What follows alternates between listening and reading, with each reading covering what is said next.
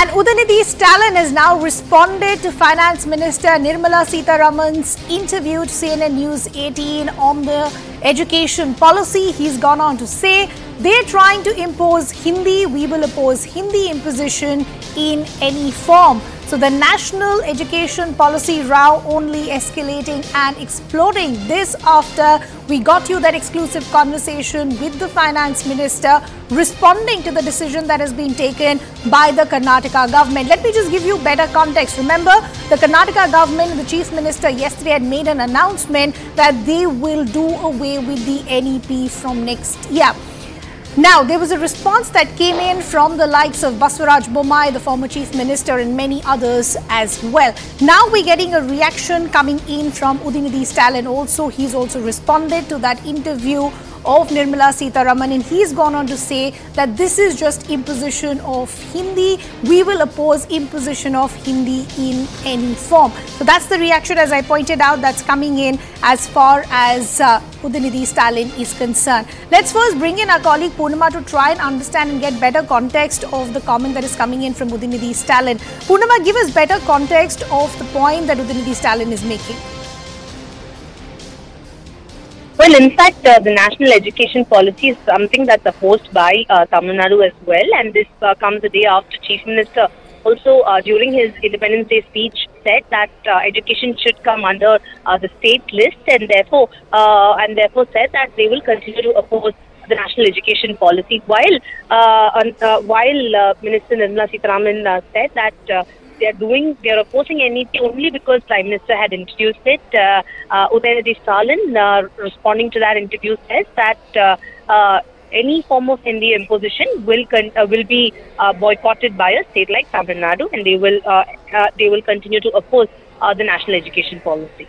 But yeah, exactly as you were pointing out, Purn- Purnima, we'll just request you to stay on with us. Some reactions coming in. Let's play out those first, and then we'll continue the conversation. Sir, uh, Nirmala Sitharaman in an interview to CNN News 18 said that uh, national education policy is not any form of Hindi imposition and that opposition parties are doing this only because Prime Minister is saying so, uh, is introducing this. I haven't uh, seen her interview, but uh, they are trying to impose Hindi in the in the way of uh, the new education policy, and uh, DMK will uh, object in any way if Hindi is imposed in Tamil Nadu. Thank you. Thank you. So that reaction coming in, Purnima still continues to be with us. But Purnima, that's exactly the kind of criticism that's coming in, what you were pointing out a short while ago.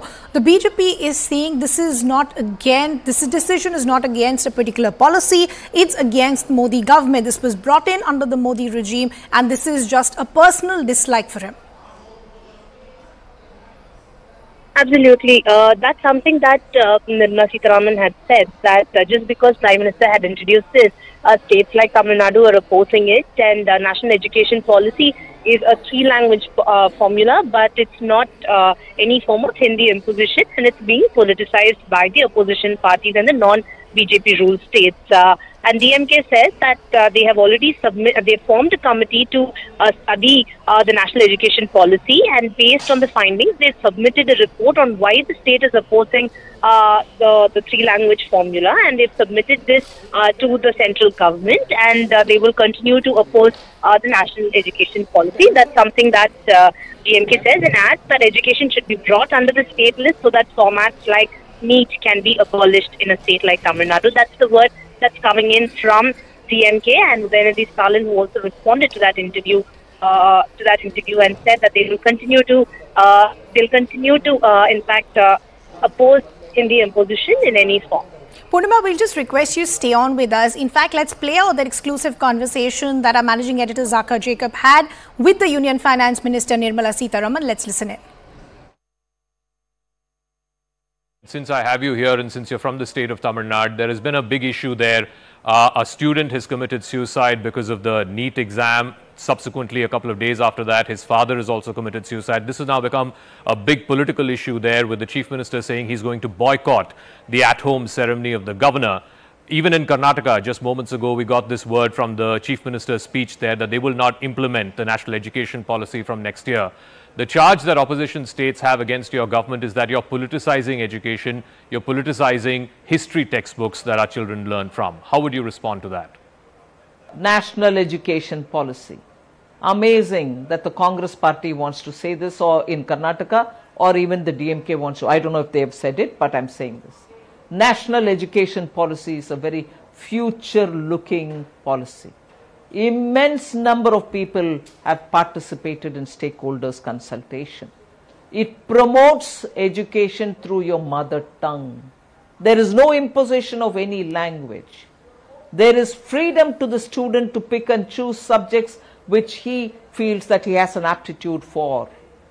Now, immediately because such a versatile, well researched, well um, publicly consulted policy is brought in only because it's brought in by Prime Minister Modi, we like to hate it.